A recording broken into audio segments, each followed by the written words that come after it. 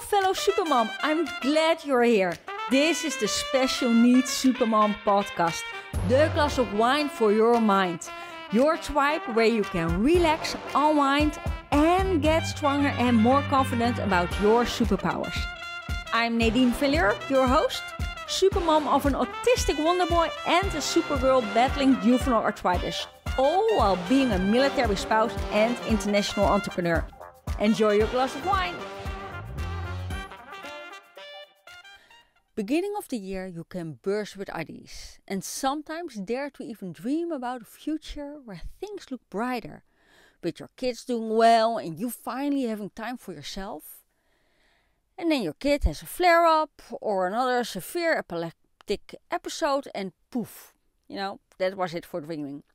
But especially when times are tough, it is essential to keep on dreaming and take even the smallest steps to make those dreams come true whether it is to pick up your hobby or build a career.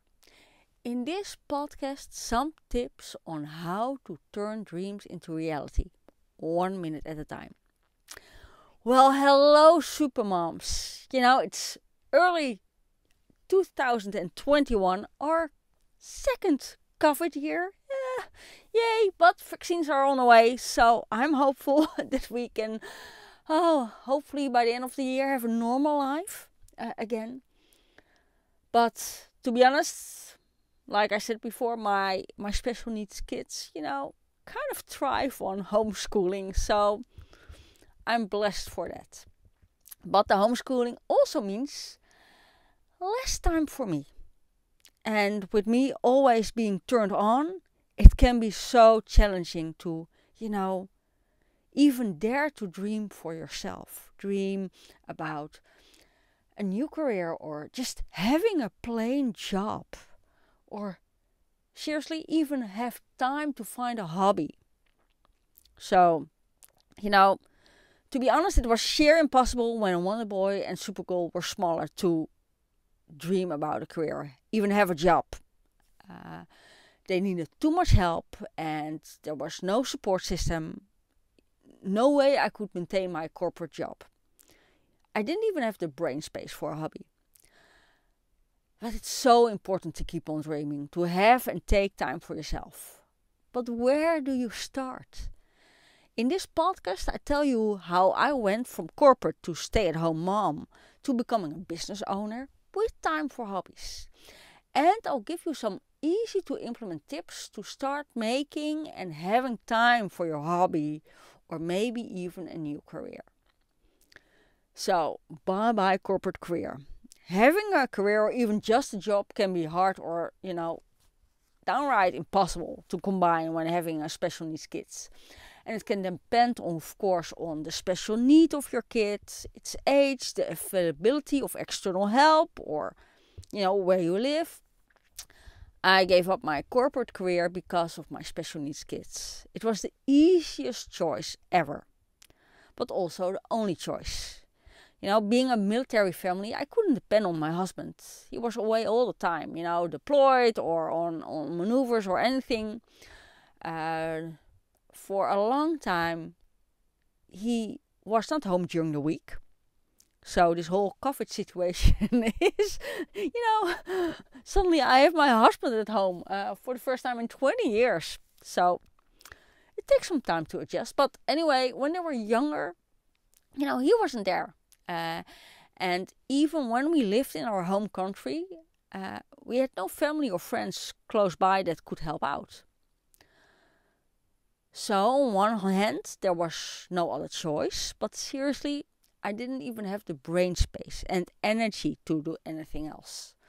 Also, you know, I didn't trust anyone else with my kids, but that might be a good subject for another podcast. Once my kids became a bit older, I also got a bit more time on my hands. Back to corporate was still not an option though. Especially for my Supergirl, I needed to be available 24 7. Even when she was in school, I needed to be able to pick her up when her body and thus mind uh, was done, you know, and still is. Even when she's now in high school, if something is going on I need to be there and I need to be in a 30 minute driving distance, really. luckily, uh, you know, uh, as a corporate copywriter, I didn't need an external company uh, to to start working again. I, I started my own company. And my background, you know, I did a school for journalism and design. Uh, I was specialized in, in uh, foreign affairs. I became an expert. So, all that extra knowledge I got uh, over the years, you know, uh, it was easy for me to specialize my copywriting uh, yeah, for the technical field uh, and intercultural copywriting. So nowadays, I help a lot of countries that want to do business abroad, but notice that their normal texts, you know, are not read or don't stand out, or their clients don't have a click because they forget the, the cultural component. Every country is so different, every culture is so different. You need to take that into account. But anyway, I was lucky enough that I could start this business uh, just from my from behind my kitchen table. And because I'm my own boss, I can work in the hours that suit me and my family best. Yes, sometimes that means an evening, but I'm fine with doing that once in a while. But what if you're used to be a researcher or worked in a store? How can you ever go back to that? What if your kid, kid needs you 24 7 at the moment, but maybe also in the future? How can you chase your dreams when you don't even have time for 15 minutes of nothingness? Okay, first of all, do you really have no time? How much time do you spend on your phone? Or how much time are you slumped on a couch watching TV in the evening? You know, don't get me wrong, I get it being so tired you only seem to be able to flick to your phone looking at what the outside world is doing. Being so tired in the evening. I have that especially after my accident that I don't have uh, energy anymore in the evening. So in the evening I you know, I'm slammed on the couch just watching TV shows, doing nothing. And then I'm like, yeah, but I'm really too tired. On the other hand, if one of the organizations I volunteer for needs me, I have time for that in the evening. If I need to finish a rush job for a client, I do that in the evening. So technically, being too tired in the evening to even do something uh, for a hobby is not really true.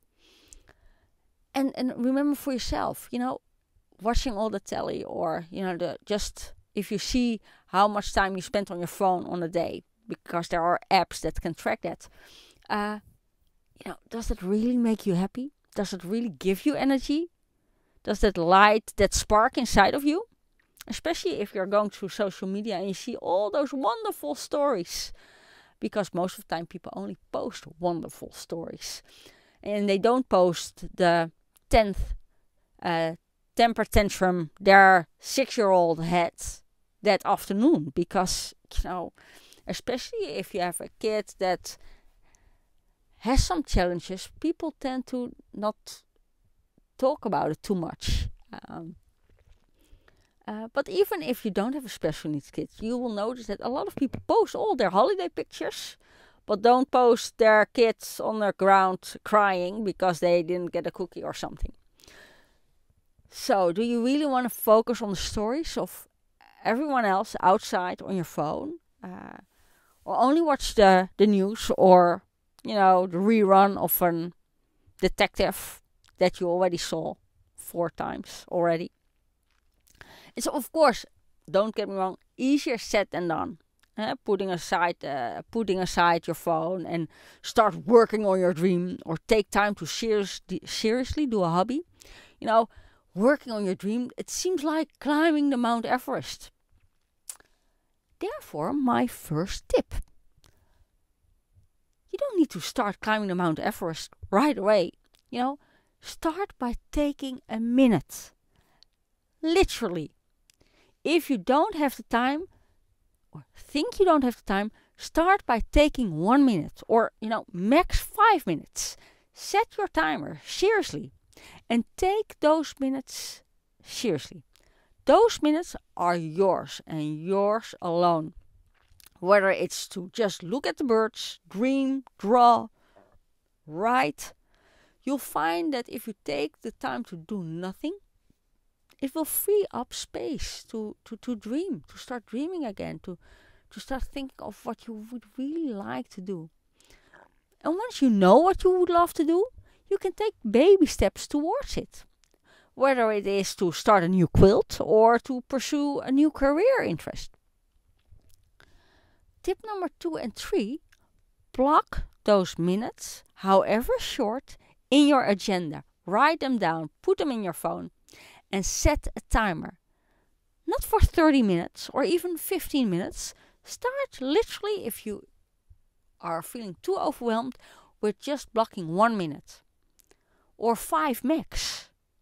Treat it as a doctor's appointment for your kid, non negotiable. You know, some examples on taking actions on dreams. You know, if you, for instance, want to run five miles, start with just putting on your shoes. Just that. Next day, just run to the end of your corner. Just that. It's easier to take baby steps and to take action on a three month running schedule that you put on your fridge because, you know, you will find a schedule, put it on your fridge, and the only thing you will notice at the end is that you have to train every other day and you don't have time for it, or you don't think you have time for it, and you only see that run for 45 minutes straight, and you're like, that seems oh, like Mount Everest, so high, so far away, so sheer impossible. But if you just start by just running to the end of the block, you know, just start by a simple thing like that. If you want to do a course, don't sign up for a lengthy online course with a strict time schedule.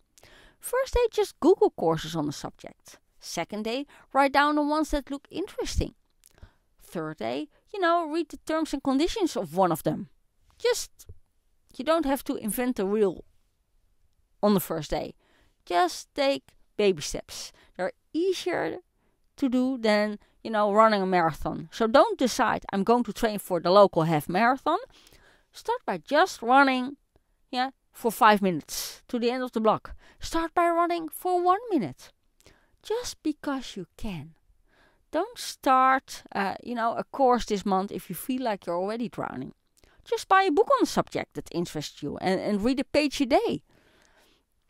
Honest, okay, I needed practice when it came down to dedicated me time, and sometimes I still ignore the alarm on my phone. But because I set it on a set time every day for only 50 minutes, it slowly becomes a new habit. And especially when it comes down to taking time for a hobby, these three tips above really help me. You know, uh, my example, I love to quilt. But to be honest, since we're back from Kansas, like seven and a half years ago, I haven't taken the time. And we visited Kansas like two years ago, and I bought a new pattern and new fabric. I can buy it everywhere because, but it was just nicer in Kansas for some reason. But I bought it, and I haven't touched it since. It's it just looks like such an enormous project. It overwhelms me every time I think about it, or when I pick it up and I start to read all the instructions, and I'm like, oh, I don't have time. I need, I need like half a day to lay out all the fabric, or and I forgot how to start, and it, oh, it just seems like an impossible timely project. So I broke it down into mini steps. First, I tackled the not knowing how to. You know, uh, the first evening I googled books on the subject. The second evening I browsed around a second-hand online marketplace for books. The third evening, I wrote down the possible books I liked or found interesting. The fourth evening, I contacted a, a seller, and you know, so on and so on. And the same with the fabric. The first evening, I just read the manual again. And I did that for three evenings straight before I settled in. And then the fourth evening, I numbered all the fabrics I, I knew, okay, this is the stash, and this is going to be used for this quarter, and this is going to be used for that uh, pattern. Um, so I just numbered it. And then the fifth evening, I just got one fabric. So, you know, yes, it takes some time, but I, I, I really love doing it. And those baby steps actually make me feel like I'm getting closer to my goal. You know, it feels like I'm taking action. It feels like I accomplished something. So the last uh, month, I already did more than the last two and a half years, really. That's just hobby time. You know, of course, this, this, those three above steps also count for when you want to work. You know, to work or not to work, it, it's it's a complicated and sometimes sheer impossible thing to think about or dream about or, or do if you have special needs kids. Uh, so, my tip number four is volunteer in the line of your interests. When I didn't work, I kind of still did what I once did paid, uh, namely writing, but I did it as a volunteer. I wrote newsletters and web pages for the Juvenile Arthritis Association. I helped uh, the school of the kids with their communication towards parents. And this last part actually led to my first paid assignment when I started my own business. So I didn't really stop what I did best and what I liked, namely writing. I just continued using my, my, my knowledge, using my skills, but then as a volunteer. And later on, I combined some of it with the, the, the, gaining knowledge about special needs kids. The plus side of being a volunteer yes, you make a commitment, but on a different level than when you have a contract, contract with a firm. You know, uh, and the same goes for, you know, if you sign up for the, a team for your kid or uh, the church. If you explain that sometimes you might be, you know, uh, need a backup person for if something happens to your kids. Most organizations are happy that you volunteer anyway. So when you want to work or start a new career but don't have the time yet, check out if you can work as a volunteer in your field. When you used to work in a store or behind the cash register, maybe you can do this for your church or help with the online web shop uh, of the sports club of your kids. You know, tip number five follows after this one. You know, uh, research your interests. If it's not possible to volunteer yet, or at all, not now or in the future, or you just just don't want to, you know, that's fine. Uh, but why don't just you know start reading books about your interest. Watch YouTube uh, videos about it. You know, hello TEDx talks. Uh, or look for podcasts you can listen to while folding the laundry. Hey, you know, while you're reading and watching, why not take notes of what you find important or interesting? By taking notes, it actually, you know, can give you the feeling you are proper, properly studying the subject.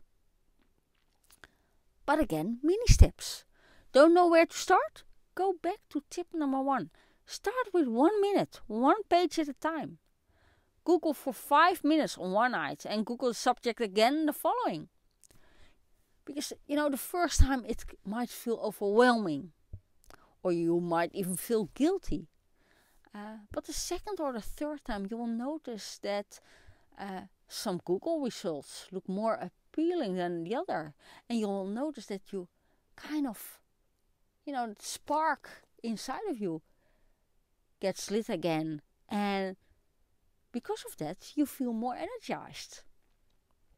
You know, and following a night, make a top three of what you Googled, uh, or the, the books or the courses that interested you, etc. So, when you want to follow, you know, a new interest, want to find time to have a hobby or do something new, start by one. Just take one minute. Start by taking a simple minute. Two, block it in your agenda. Three, set a timer. Four, volunteer. Five, do your research. Don't make yourself feel like a failure by wanting to run the marathon first time you put on running shoes. Start with just putting on your shoes. Next day, just run to the end of the block. You'll notice that the chance of you starting a five minute task is way bigger than blocking your agenda for half a day. Those baby steps make you feel like you accomplished something, took action, however small. And having the feeling you did something for yourself will help you feel, you know, that spark again. And because of that, take the time to pursue whatever it is you want. Whether it's just just do something for yourself, have some brain space. Uh, you know, have a cup of coffee without feeling guilty that you're sitting down for five minutes and telling your kids no, they can't disturb you. Uh, or secretly start, you know, why secretly? You know, just start looking for something that interests you and see if you can gain more knowledge about it and maybe think about one day start to work again or maybe follow a new career. You don't have to, you know, do the corporate thing. Uh, often, even in your inter- field of interest, whatever that may be, whether it was, you know, research or writing or even when you were an advocate, there are chances that you can do something but as your own boss. So, on your own terms, on your own conditions. Start small. Start by giving a talk at your local library uh, about your knowledge, you know, and share it with them. Start by blogging about something. Uh, but start small. If you feel overwhelmed and you really don't think you have the time, start by taking just one minute. Stay safe, stay sane, and stay happy. Until next time, Nadine. This was today's episode of the Special Needs Supermom podcast. Enjoyed your mental glass of wine? If so, please subscribe, rate and review the show and recommend the podcast to other special needs supermoms you know could use that mental glass of wine as well. Until next time, fellow supermoms, cheers, Nadine.